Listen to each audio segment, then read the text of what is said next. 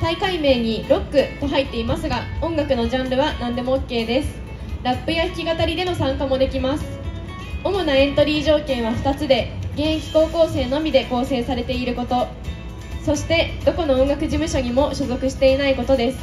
そんな皆様がコピー曲の部とオリジナル曲の部の2部門に分かれて日頃の練習の成果を競い合います。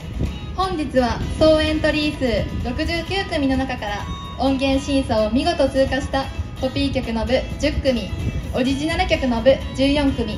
合計24組の高校生出場者の皆様に演奏していただきます。コピー曲の部は各組1曲オリジナル曲の部は各組2曲の演奏となります。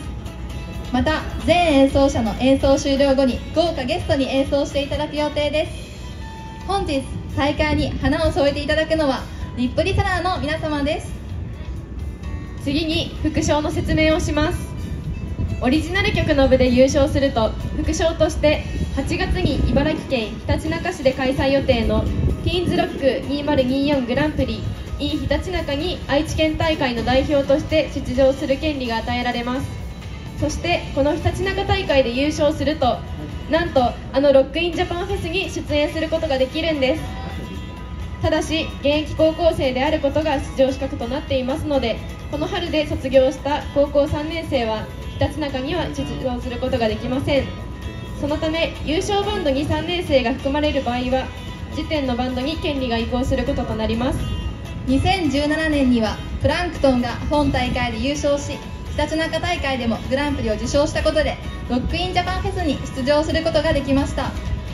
今日の出場者の皆様にも全力で頑張ってほしいです。全出場者が演奏終了後審査員の皆様に審査をしていただき各賞の表彰をします。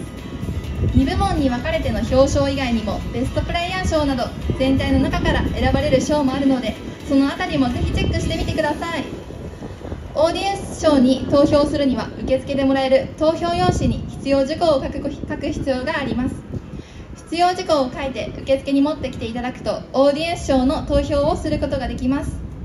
そしてなんと投票していただいた中からお一人に豪華商品が抽選で当たります。ぜひ皆様投票してください。それでは本日審査をしていただきます。審査員の皆様をご紹介させていただきます。株式会社 S フラッグプロモーションより斉藤智則様です。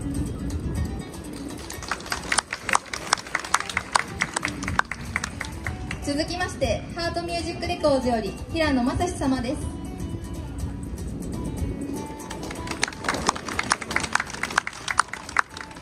続きまして株式会社ソニーミュージックエンターテインメントより三崎修斗様です。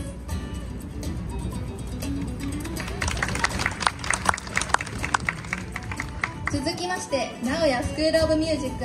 ダンス専門学校より森拓真様です。